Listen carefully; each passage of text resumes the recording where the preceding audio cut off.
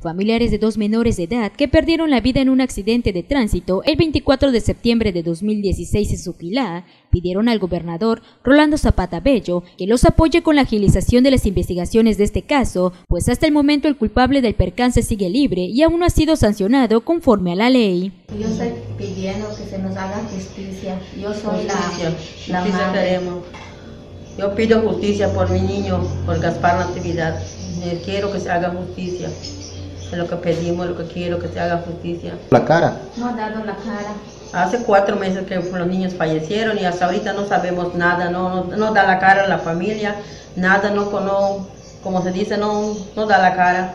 Nosotros necesitamos que se le dé la cara a la familia de ellos para que se haga justicia. Lo que queremos pedir, pedir justicia por los niños, porque los niños todos son son unos niños que fallecieron. Si el gobernador me llegara a escuchar, que le haga un llamado de que se nos haga justicia. Yo perdí a mi hijo de seis años. Mentira, y tengo a uno que estamos haciendo gastos con él. Y lo operaron y todavía tenemos deudas y los padres no nos, dan, no nos han dado la cara de ese muchacho que atropelló a mis hijos.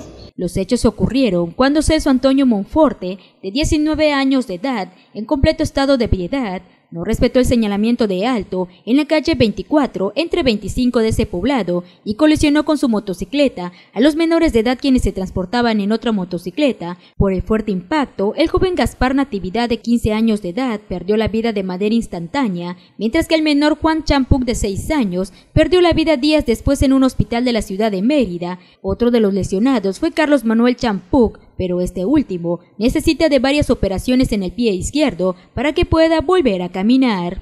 Comentaron que Celso Antonio Monforte es familiar de funcionarios públicos de ese municipio y después de haber pagado dos amparos fue puesto en libertad y según los afectados, con los errores en el sistema de justicia del Estado, el caso se está tardando y el responsable no está siendo castigado por las muertes que ocasionó.